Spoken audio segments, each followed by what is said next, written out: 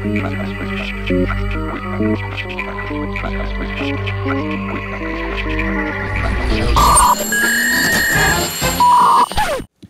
I'm Windell Oskay from Evil Mad Scientist Laboratories, and um, I uh, want to talk about this thing I made, which is the CandyFab 4000. Uh, this is a homemade 3D sugar printer. And, um, well, okay, why? Let's ask a serious question. What if it costs an order of magnitude or two orders of magnitude less to do rapid prototyping? And uh, here's one way. So we start with a 3D model I draw on the computer. We cut it into a set of slices. And then we take a hot air gun and we move it over the bed of sugar and selectively melt uh, sugar in certain places.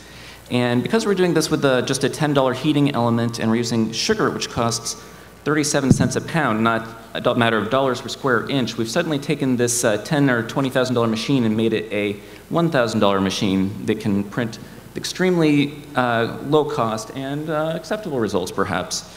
Um, we can also uh, do other things. We're interested in making geometric sculptures.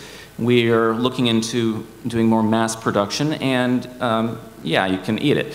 Um, so one of the problems with making a 20-pound sugar sculpture is you don't really want to eat that all at once. So if you want to make edible output on the CandyFab, you really need to think small.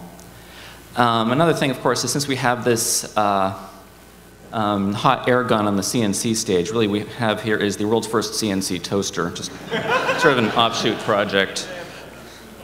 Um, we can also do other things too. Um, imagine printing in plastic. If it melts, we can fab it, and that's really where we're going with this. Um, you can also do complex shapes because uh, in your additive process, you're not limited by producing something you can do in a subtractive process like milling.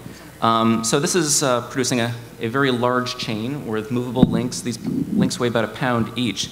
We're also working now on getting towards a smaller, uh, higher resolution build. This is a flexible chain where the chains are only uh, an inch or two long. Um, and this is what I did last week. This is uh, getting towards a true 20 dots per inch resolution.